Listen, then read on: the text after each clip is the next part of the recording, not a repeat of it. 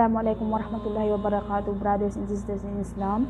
Ipagpapatuloy ko lang yung, uh, ito na yung last part nung question nung nakaraan na bakit hindi na lang lahat patnubayan ni Allah subhanahu wa ta'ala. Okay? So, bago tayo magsimula, no, magbigay muna tayo ng papuri sa Diyos. A'udhu billahi minasyaitanir rajim. Bismillahirrahmanirrahim. Alhamdulillahi rabbil alamin wassalatu wassalamu ala Rasulillah wa ala ahlihi wa sahbihi ajma'in amma ba'du. Okay, brothers and sisters in Islam, at sa mga idun sa nagtatanong, no? Sa Quran 49 verse 13 Surat Al-Hujurat, sinabi ni Allah Subhanahu wa Ta'ala na o sang katauhan nilikha namin kayo mula sa lalaki at babae at ginawa namin kayo at ginawa namin kayo sa maraming pamayanan o mga bansa at mga tribu upang kayo ay magkakakilanlan. Tunay na ang pinakamarangal sa mata ni Allah ay yung mga may takot kay Allah, yung mga muttaqin. So, ibig sabihin, yun yung mahalaga kay Allah subhanahu wa ta'ala, hindi siya namimili ng kanyang papatnubayan. Kung sino yung may takot sa kanya, yun yung talagang kanyang pinapatnubayan. At yan ay pinatunay, pinatunayan ni Prophet Muhammad sallallahu alaihi wasallam ayon sa kanyang hadith. Sa Imam Ahmad 23:105, sinabi ng propeta sallallahu alaihi wasallam na ang inyong ama ay iisa, ang inyong Diyos ay iisa. Walang taong Arabo ang makahigit sa hindi taong Arabo at walang hindi taong Arabo ang makahigit sa taong Arabo.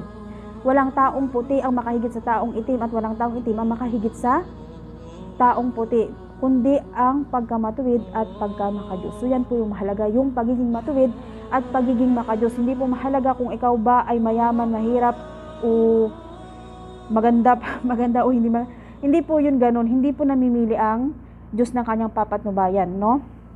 Ayun nga sinabi na nakaraan, kung sino yung naghahangad ng kanyang kaluguran, yun ang kanyang pinapatnubayan. Ayon sa Quran 2, Surah Al-Baqarah, verse 4 to 5, no?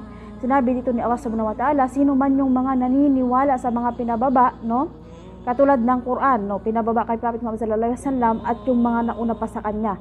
Yun yung Torah at Ebanghelyo, sino man ang naniniwala doon at naniniwala sa kabilang buhay, ay sila yung mga nasa totoong patnubay ng kanilang Panginoon at sila yung mga makakasama sa mga magsisipag tagumpay.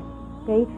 Ang sabi nga ng uh, ang sabi nga ni Allah Subhanahu wa Ta'ala sa Quran 30 verse 30, no, Surah Rum, na ang lahat ay nasa kalagayang fetra. So ito yung uh, lahing Muslim, no.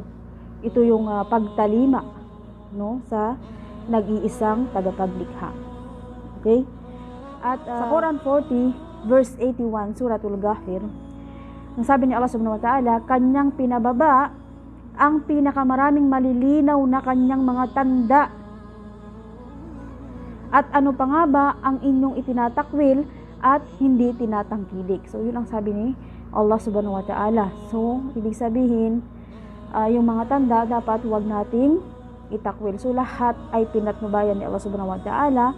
Kaya lang naman nasasabi na hindi pinapatnubayan dahil yun ay sa mga nagtatakwil. Kung ikaw ay magpakita o magsikap para sa iyong Diyos, no, para sa katotohanan, paghanap ng katotohanan, ikaw ay kanyang papatnubayan. Subalit kung ito ay iyong itatakwil, ay lalo kang malulugmok sa kasinungalingan. So, yun ito na po yung last part, no? So, sana uh, may mga natutunan tayo, okay? So, uh, subhanakallahumma bihamdika ashhadu an la ilaha illa anta astaghfiruka wa atubu.